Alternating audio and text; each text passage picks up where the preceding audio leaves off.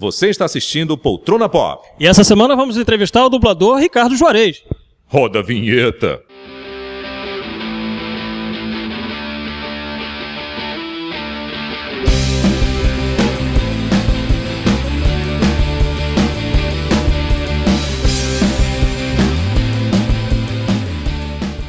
Grande Ricardo, nós estamos aqui direto do evento Baixada Games, entrevistando Ricardo Juarez, dublador de Johnny, Johnny Bravo, dentre outras vozes muito interessantes. Muito boa tarde. Boa tarde, tudo bom, gente?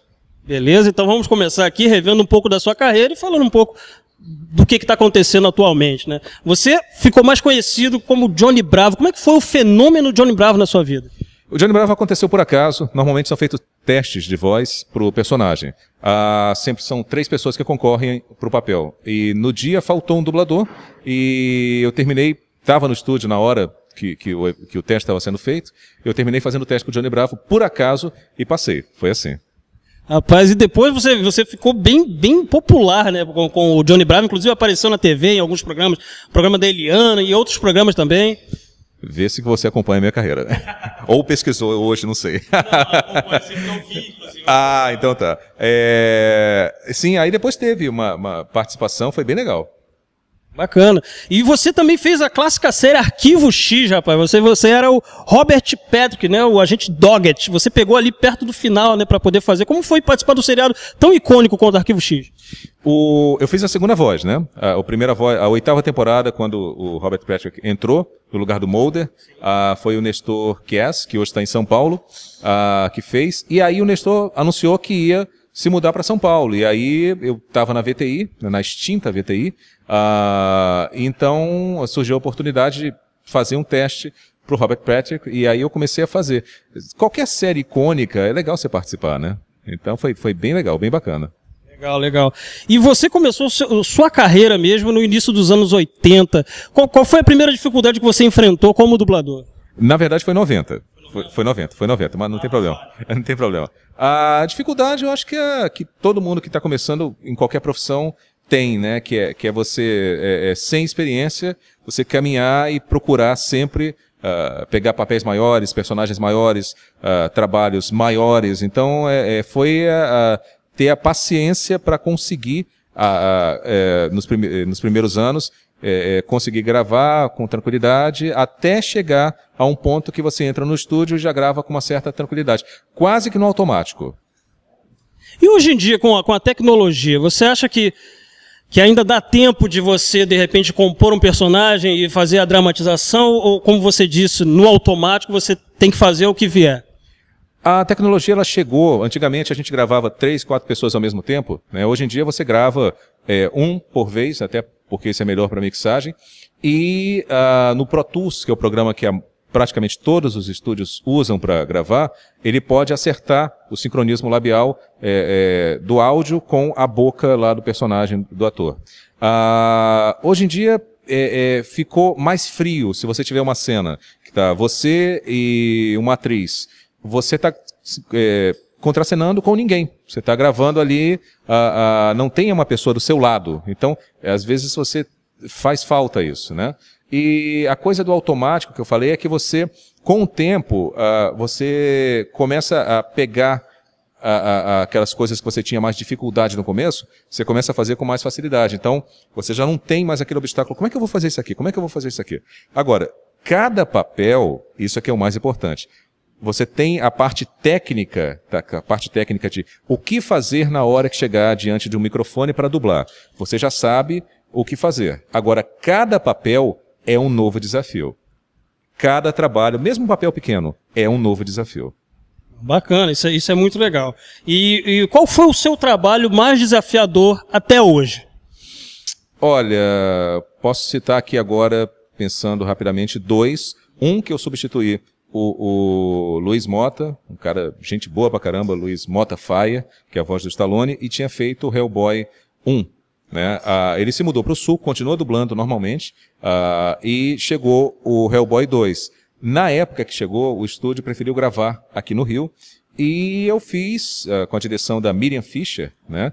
Ah, o Hellboy 2, procurando fazer o mais próximo possível eh, do original, sem é, é, se, é, sair muito da voz do Luiz Mota, né? Porque quando um personagem muda a voz, é muito difícil. A pessoa estranha, e a voz mudou, ficou, ficou diferente. Esse, e é claro, Kratos, porque todo mundo já conheceu Kratos.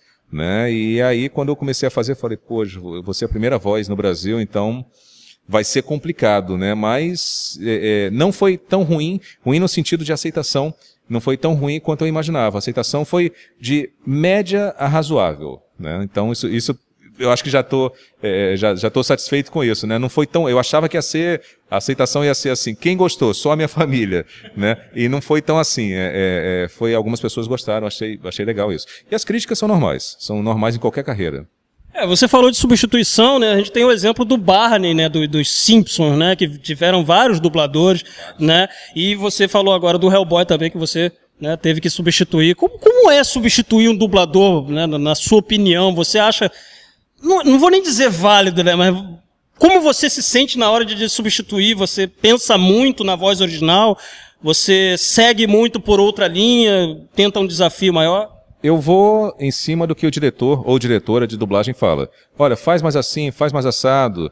É, e é por aí. Ah, no caso do, do, Barney também, né? Que era antes de mim era o Marco Antônio, que é a voz do George Clooney, que fez durante muito tempo. Aí eu segui aquela linha do ah, Homer, né? Aquela linha que ele fazia, fui atrás daquela linha. E felizmente na, tanto nele quanto o Tigra do Thundercats também, que eu substituí também, eu tive a felicidade de agradar, eu acho.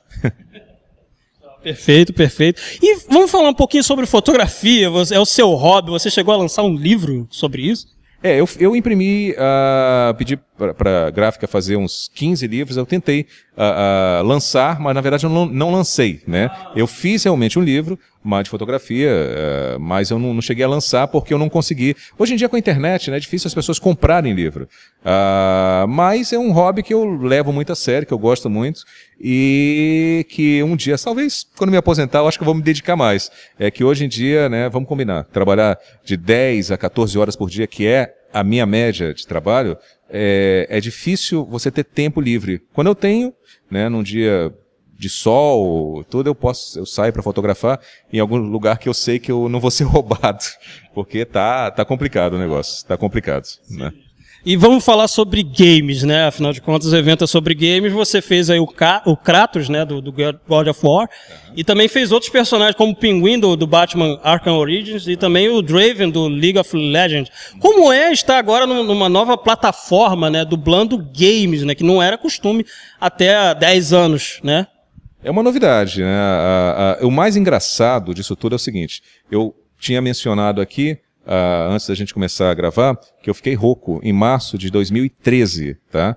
Essa rouquidão se deu ao excesso de trabalho, trabalho de 10 a 14 horas, uh, e isso aqui é um músculo, né? Então, é a mesma coisa de você pedir para um, um, um cara que correu a maratona, eu uso muito esse exemplo porque ele é fácil de entender. Um cara que correu a maratona, para depois que ele correu a maratona, falar, vamos dar uma corridinha na praia? Então, aí a perna já, já vai dar cãibra, vai dar. Então, se você forçar muito, a sua voz vai embora. E foi o que eu fiz. Eu estava gravando, dublando, dublando, aí eu gritava de manhã num jogo, aí depois tinha rádio, é, comerciais e mais um monte de coisa e tal. Aí a voz foi sumindo, sumindo, sumindo, sumiu. Sumiu, eu fiquei 25 dias completamente sem voz. Eu abri a boca para falar e não saía som. Não saía, saía som. Só isso. Não saía som nenhum, nenhum. Eu fiquei preocupadíssimo. É, e aí, meu ganha-pão. Meu ganha-pão, né? Então, uh, aí, daí, desse ponto, eu decidi que eu ia eh, diminuir muito a dublagem. Foi o que eu fiz. Eu diminuí bastante a dublagem. Eu só estou fazendo um, alguns projetos que eu posso, me dou ao luxo de, de, de escolher. E eu faço, olha, esse aqui eu faço, esse aqui eu posso, esse aqui eu não posso e tal. Eu realmente falo, esse aqui eu não vou fazer e tal. E os personagens que eu já, já vinha fazendo, né? Que é o Johnny Bravo ou qualquer outro que, se chegar, eu falei, podem me chamar que eu vou lá fazer. Ah, então, ah, a questão dos games, quando chegou, que foi a sua pergunta original, ah, eu estava pensando em parar de dublar. Só que o, o meu lado gamer é muito forte. Aí eu falei, não, tá bom, vamos fazer, vamos, vamos vou, eu vou eu vou fazer os games. Então eu vou fazer só game. De vez em quando eu dublo alguma coisa, um filme, um seriado, mas eu tô focado mesmo no, nos games que eu gosto, eu jogo. Uh, não, eu não jogo League of Legends, eu queria jogar. Eu sei que muita gente falou assim, o Draven joga League of Legends? Não, o Draven ainda não joga porque o Draven trabalha muito, não tem tempo, e o League of Legends é, segundo me disseram, viciante. Então eu preciso trabalhar, então eu não tenho tempo de ficar ali. Se eu for jogar, eu não quero jogar cinco minutos, eu quero jogar cinco horas, sete horas, oito horas. Então eu não quero jogar uma coisa pequena por pouco tempo. E, e esse mercado novo está sendo maravilhoso, está sendo maravilhoso, estou gostando muito. Perfeito, eu queria agradecer a sua presença e gostaria que o Johnny Bravo se despedisse do nosso público. Ah, valeu, galera. Um abração do Hub Hub, Johnny Bravo. Tchau, tchau. Tchau. Valeu. I'm sexy and I know it. Ay. I'm sexy and I know it. Check it out. Check it out. Wiggle, wiggle, wiggle, wiggle.